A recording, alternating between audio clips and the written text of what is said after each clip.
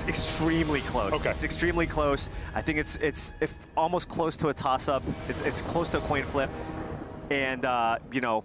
I think maybe Cifka by a tiny bit just because he has a few extra ramp options to get that Nissa into play. I'll tell you one thing that I've seen consistently here, and that's the player who gets off to that quick start with those early ramp spells and gets the advantage down soon is the one who has the big edge here. Yeah, I was I was actually speaking to Reed Duke earlier as he was watching the earlier mirror match of William Jensen against Gabriel Nassif, and you know the most important thing in the matchup, the most the, the key to the matchup is getting those mana creatures out into play early. Whoever gets more of those early will generally be the one who comes out on top. You have the mana sinks, you get that Nissa into play early, or you can just start chaining Hydroid Krasis as well.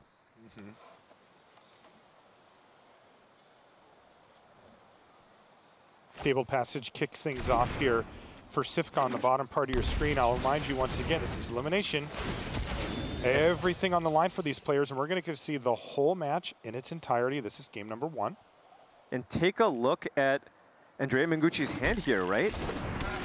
He's got Gilded Goose, Paradise Druid, Leafkin Druid, and the Hydroid Krasis. So he's well ahead here in terms of just who gets off to the better start with the ramp with the ramp creatures. Yeah, S Cifka, a little bit slower of a start. There's a Questing Beast into hand now for Mengucci. He's going to play an untapped Hallowed Fountain.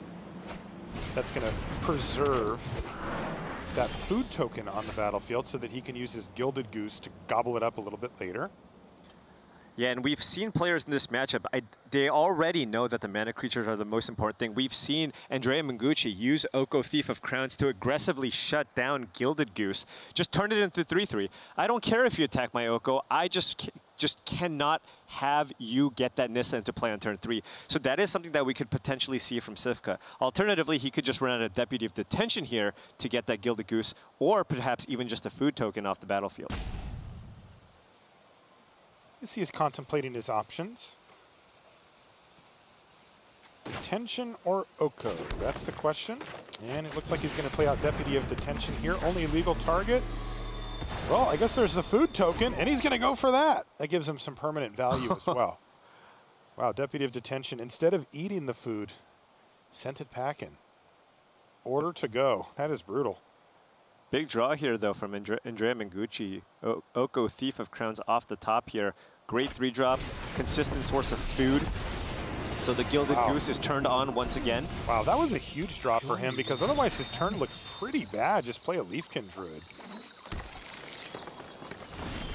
So he's used Fable Passage to search up that forest before passing the turn back, and here's an Oko for both players now. Cifka plays an Oko of his own. What's he going to do with it?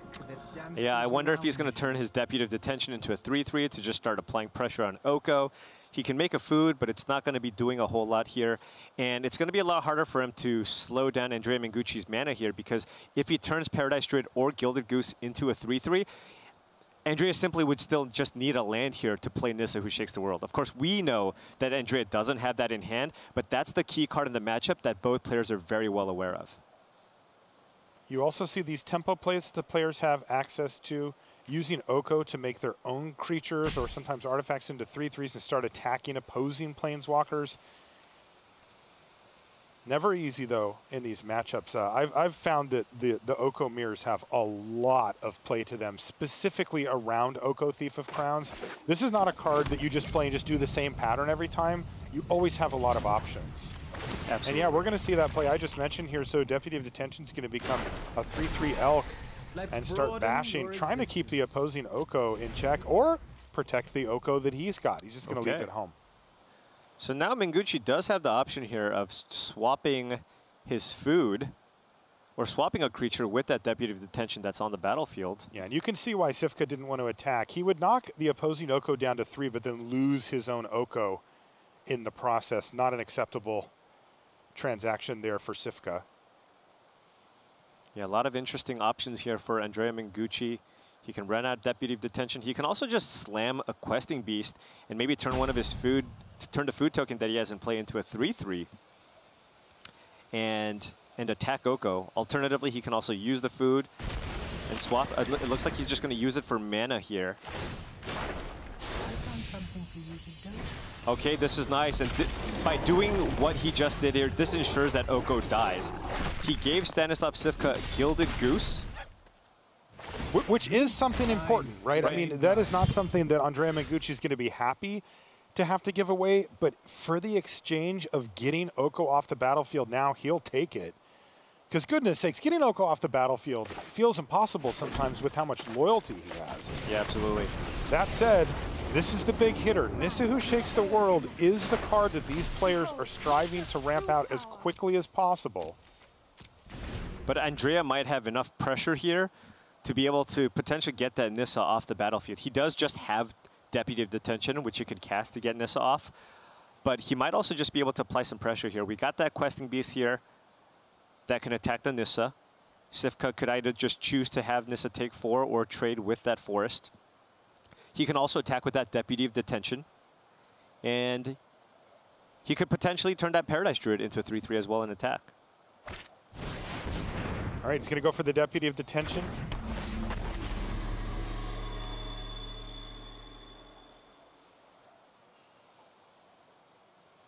He's going to target the Goose. Always interesting when you target something that you actually own, you'll get it back. Yeah, so this tells me that he's going to turn his Paradise Druid into a 3-3 and attack with everything. By doing so, six at least six points of damage will get through, and that Nissa will die. That is big because you do not want Cifka to untap with Nissa who shakes the world and cast any number of the heavy hitters that he could have. Of course, the four copies of Hydroid Krasis, but as you can see in his hand, even that one copy of Agent of Treachery. Yeah, that is absolutely huge. And you see that pattern over and over again. If given the option, the players will give up almost any amount of board presence to get rid of Anissa to, to prevent that exact thing from happening. Oh dear.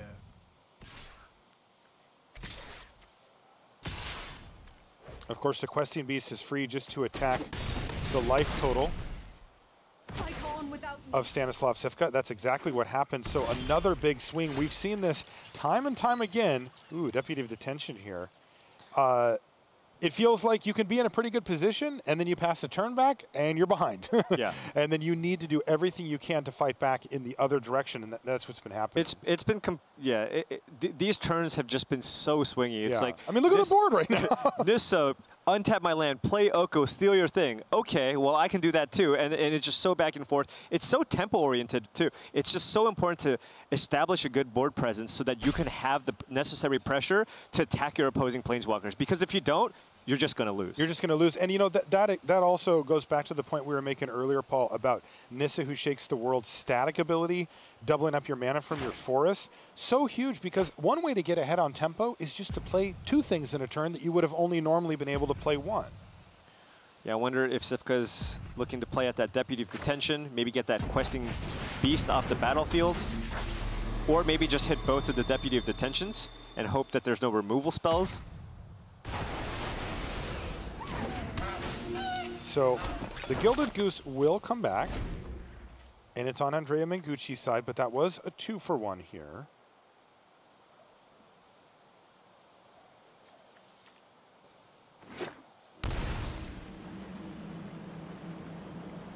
We're going to see a big old Krasis here from Mengucci. Oh, yes, we are. X equals four. Let's see what he finds with his two cards. Well, not a whole lot. Welcome to Basically a forest. Questing Beast once again in the red zone. No reasonable blocks here for Cifka. So yeah. he's just going to have to take it on the chin. Down to eight he goes, and it's a Gilded Goose off the top. Yeah, and you know, this game, Andrea Mengucci has done such a fantastic job of making sure that there's enough pressure on the battlefield and prioritizing removing Planeswalkers over everything. Uh-oh, here's Oko, Thief of Crowns. Perhaps a questing beast? No. It's going to be actually the Deputy of Detention that ends up becoming hmm. an elk once again. Important to note that the Deputy trigger will still happen, even if it dies as an elk. Those cards that are underneath it, oh, they remember. and then that, that will be very bad news for Cifka. There are two deputy of detentions underneath the elk deputy of detention. Mm -hmm.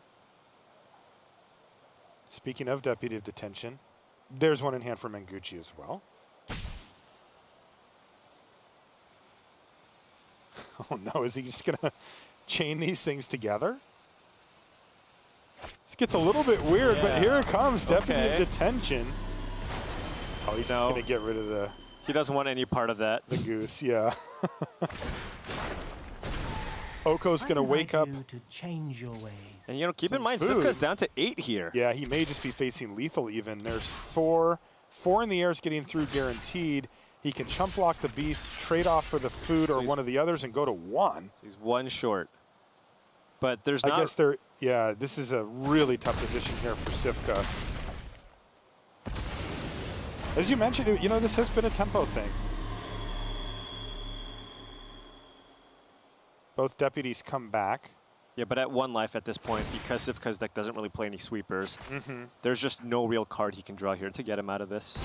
Rules get a little wonky here as well. There's deputy detention trigger goes on the stack. Mengucci's the active player, so his goes on the stack first, but that means that it's going to resolve last. And that means that Cifka gets to be the one to take care of business. And the way the deputy's templated, if it's gone by the time the stack resolves, just nothing happened. Right. So the, pa- the turn gets past to Cifka, but it's got to be too overwhelming for him at this point. Coming back from being this far behind for the Simic deck is very difficult. They just don't have a, a sweeper, a reset Yeah, he's sitting like at one life here. He can gain some life. He can play out a Nissa. If he does, he's tapped out. The Goose is tapped. He has a 3-3. That's not going to be enough here. He can block two creatures and gain three life. He can switch something with the Oko. Maybe swap a food, but yeah, I think he's just too far behind here. That's right. So Cifka says, well, there's no way out for me. I'm going to have a sip of water and scoop him up. Andrea Mengucci wins game number one, trying his best to stave off elimination. And he's one to the good here with the win. Mengucci really starting to make a name for himself in these smaller field tournaments. I mean, this was pretty big. There were 68 players, but not as big as a as a full-on Mythic Championship at the paper level, where you can get up to you know 400, even 500 players sometimes, depending. Yeah, and I like Cifka's sideboard strategy here. He bringing he brings in the three copies of Wicked Wolves from the sideboard, very very important as a way to get detention mage, sorry, uh, deputy of detention off the battlefield, and also boarding out his own copies because of the Wicked Wolves on Andrea Mengucci's side. Unrelated question, Paul. What was um, Deputy of Detention's playtest name? Yeah, I keep calling it the detention mage because Oh. in playtesting its Oh. name was detention mage. Interesting. so every now and then you're gonna you're gonna have me say something uh, an incorrect card name. That was likely the playtest name. Are there any playtest names that you uh, you wouldn't be allowed to say on air?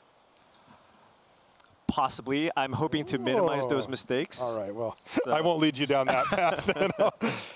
Come back. Let's get back on the match here. Andrea Mengucci up one game to zero over Stanislav Cifka, who is looking at his opening hand. He's kept it, but it's missing one key ingredient here. There's no ramp. There's no ramp. It is on the slower side. No once upon a time to find one of those mana creatures. He could find a Paradise Druid for his second turn. Growth Spiral would also be great. He does get a Scry. Here's Temple of Mystery to kick things off. Once upon a time. That's good. And you know what? That's still free. Yeah. So that could absolutely become a two mana ramp spell. Speaking of, there's a Once Upon a Time for Mengucci, perhaps looking for a Gilded That's Goose, the and he perfect hit one. card. Hello, friend. The goose is, as they say, on the battlefield. There is Once Upon a Time. And he didn't find one this time. In fact, boy, not a lot for him there. Uh, extra copies of Hydroid Krasis aren't really what he needs here. So he's just going to take the Temple of Mystery to help shape his draw going forward. He really wants to Jeez. put a permanent onto the battlefield next turn. Yep. Oko, a ramp creature, and that's what he wants. So, so because he has plenty of plays after turn four, right? He's got that Wicked Wolf on four, he's got Nissa on five, and Hydroid Krasis potentially on six. So, don't think Once Upon a Time is the thing that he wants to look for. I think he should likely just take his chances here and just hope to draw a relevant card to play next turn. All right, down it goes to the bottom of the library. Past the turn. A very slow start here for Stan Cifka. And boy, he's got a lot of work to do. The question is, how quickly can Mengucci get out to one of those insurmountable leads? Right. Because the one thing that Oko doesn't do is draw you cards. it's all about onboard manipulation here, but uh, Mengucci needs to find a heavy hitter. His dream, of course, is, is Nissa. That, that's the card that he'd love to find. Yeah, but Cifka already falling behind here. No plays for the first three turns. He got a couple of scries. He looked five deep with Once Upon a Time. He was a favorite once he saw that Once Upon a Time to find something. But but now, Andrea, his Once Upon a Time, finding him the Gilded Goose, allowing him to play out this turn to Oko Thief of Crowns. And, you know, he can continue adding to the board here, right? He does have that Krasis. Next turn, he can put another Accelerant onto the battlefield in the Leafkin Druid, draw some cards. So things looking very, very good here for, for Andrea. Stan with a little, perhaps a bluff here.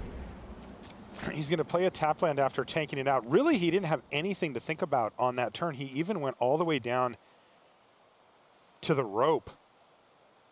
And, you know, if you noticed, he kind of clicked through the rest. Like, yeah, I've got an instant, I swear. Oh dear. Perhaps trying to convince Mengucci that he's got a counterspell in hand. In the meantime, though, Oko, Thief of Crowns, getting rowdy here, waking up that food. It bashes in for three. A Leafkin Druid and a land join the battlefield, and then Mengucci's just going to pass the turn back.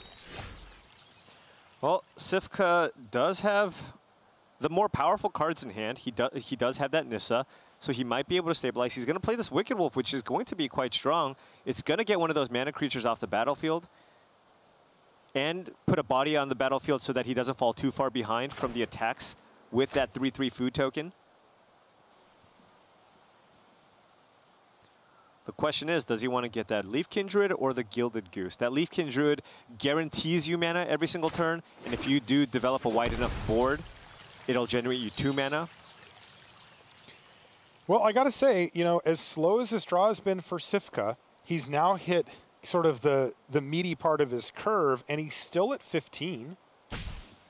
He gets to go Wicked Wolf into Nissa, into some combination of Krasis and Wolf, assuming that things go well for him. That, that's the kind of power hitters in the middle part of the game that he can use to really get ahead. He's going to take out the Leafkin Druid and pass the turn back. These are big turns now. This is the, the you know, two to three turns that are going to decide this game.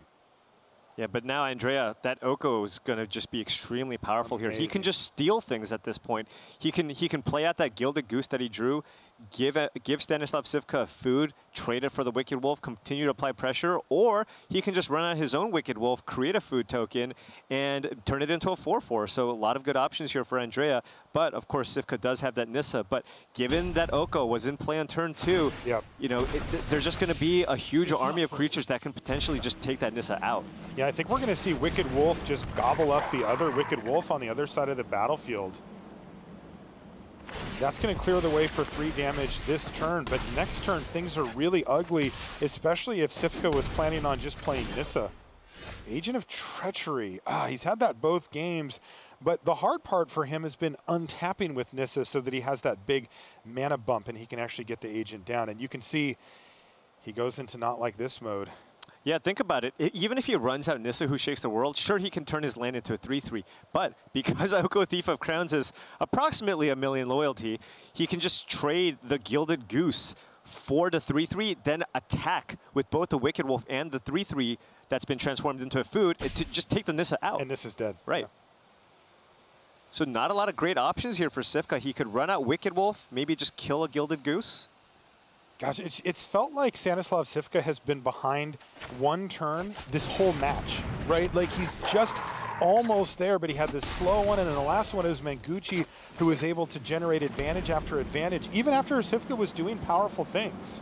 Well, I mean, we were talking about how the most important thing to do in this matchup is make sure you get those mana creatures out early, and both times, Cifka kept a hand with no acceleration. He had the slower draw. He had the slower cards in hand, and Andrea, however, you know, with the optimal start, getting that Gilded Goose early, getting those two mana creatures down to be able to just have more pressure on the battlefield to pressure those planeswalkers. Think of how good this draw would have been for Cifka if that once upon a time hit a mana accelerator. I mean, right. he would be ahead Absolutely. right now. Absolutely. And now he is just getting ran over. Here comes Questing Beast with Oko at the ready still.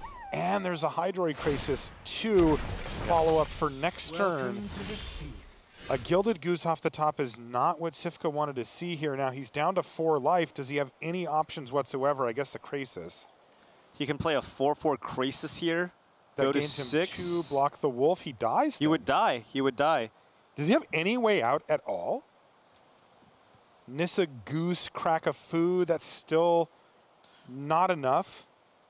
He can play out a Nissa and a Krasis and a Goose.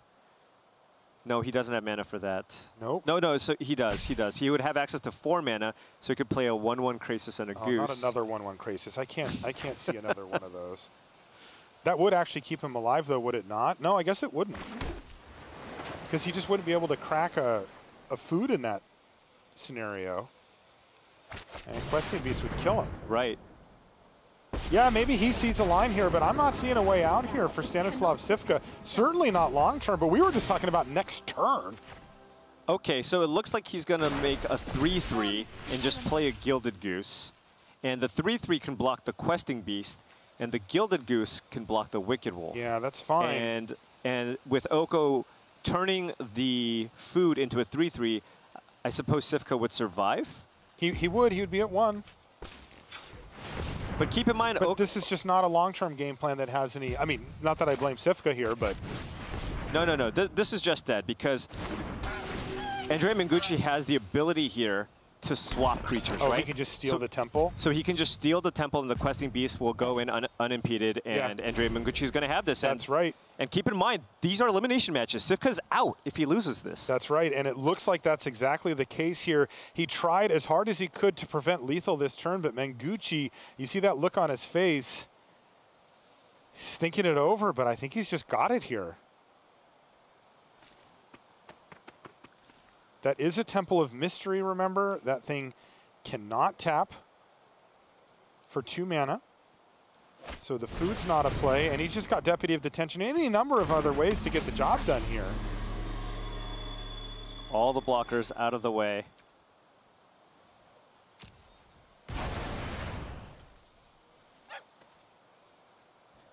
Maybe also trying to play around Veil of Summer, seeing if he has it. Running out the Deputy of Detention first.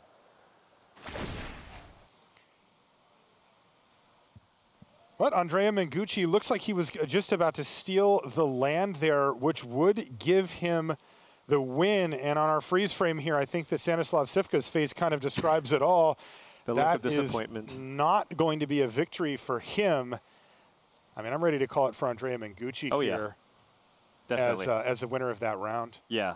And, you know, Andrea, not only just with the aggressive starts, right? Of course, the mana creatures being the most important thing there, but just on top of that, over the course of the weekend, I've just been so impressed with Andrea just knowing exactly what he needs to do in this, frankly, extremely complex matchup, right? Yeah. Especially, as you said, with Oko, so many different modes, right? Shut off their mana, make a 3-3, attack their planeswalkers. You know, what, what am I going to do with Nissa? What am I going to do with all the ramp? There's just so many different things that you could do. And Andrea just very deftly finding ways to just be the one with more resources after all these games. I've been super impressed by Andrea Mengucci. I, I think he's shown himself to be a superb mid-range player. He's consistently been picking these decks up for standard for the last few years.